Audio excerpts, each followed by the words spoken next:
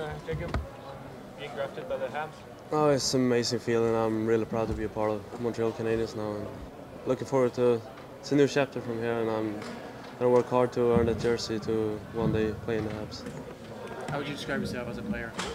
I think I'm a two-way forward. Um, work really hard and always give 100% every shift, every game, and uh, try to be the hardest working out guy out there on the ice, and also a leader who lead by example. And yeah.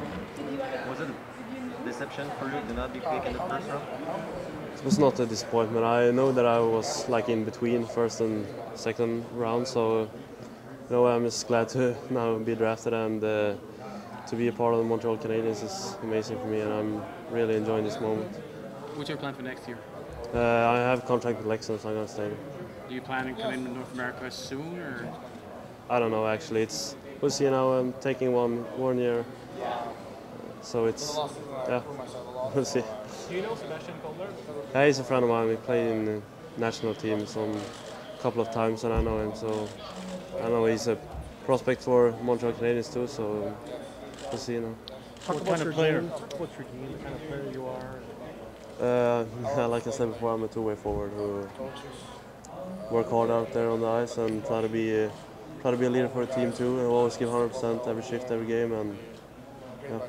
How much contact did you have with the Canadiens before? I have a couple of meetings with them. Um, I know they like me, and uh, yeah, it's you never know what, what team you're going to be drafted to because it's, it's a draft. Every, everything can happen, but now I'm really proud to be to be a Canadian. What are the What does you your- work on to get to the? Everything I think. I, first of all, I have to get stronger. I'm a big guy, but still I'm have to get, be more heavy and uh, also everything can be better. Better shot, better skater. I mean, the main thing I have to develop most to become an even better player, I think, is my offensive game. I know I can play a third, fourth line, but I want to be, yeah, you want to be as good as possible, and I know that's the thing I have to develop too. So. Where does your French name come from?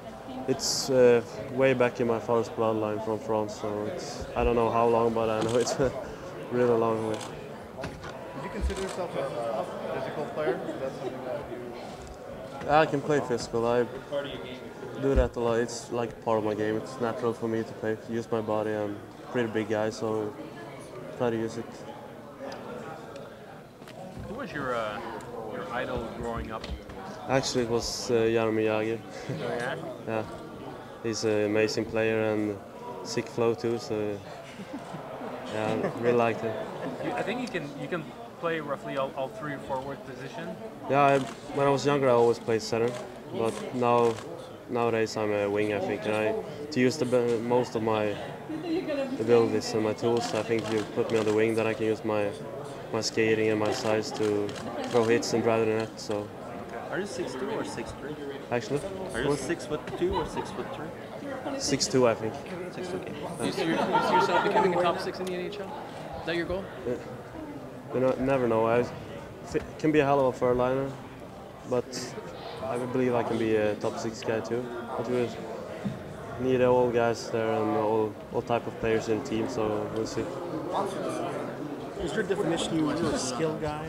Like the thing with the puck? or- No, I'm not a guy with most technique, but uh, I use my size to drive the net and to go in there. So How much do you weigh now?